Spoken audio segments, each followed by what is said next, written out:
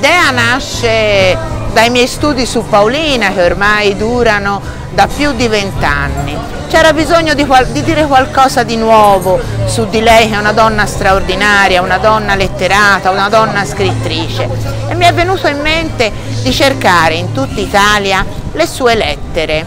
Ho cercato, ho trovato in archivi e biblioteche tantissime lettere di Paolina, più di 50 lettere inedite ma andavano riunite insieme al suo corpus, al quel corpus di lettere che già si conoscevano. Quindi l'idea è stata di rimettere insieme queste 421 lettere, di cui ripeto 50 inediti, e anche per le lettere che erano state pubblicate ai primi o alla fine dell'Ottocento o ai primi del Novecento, cercare di recuperare i testi originali c'è tutto il mondo di Paolina in queste lettere. Paolina adesso è, eh, si offre al pubblico in una veste nuova, in una donna che accoglie il suo destino, accetta il suo destino ehm, che la porta fino a 57 anni a vivere nel palazzo eh, di Recanati dove aveva vissuto anche con Giacomo,